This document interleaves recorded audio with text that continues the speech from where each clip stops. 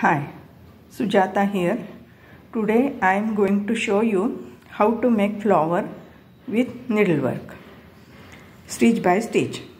First we draw it with pencil, then taking a single thread from these threads into needle, we stitch them like this, mixing them with each other. And if we want to take another color for shading then we take it like this and mix them with each other.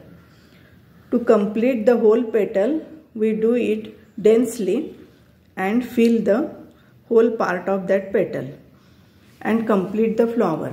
To complete the one petal like this it took 1 to 2 hours so I am not showing you the completed petal.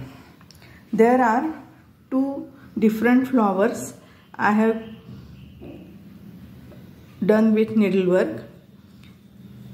In this flower there is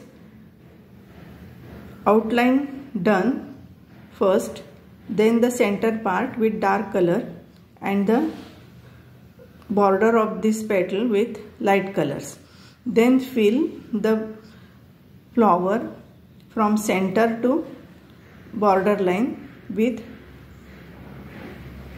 lighter shades dark to lighter shades.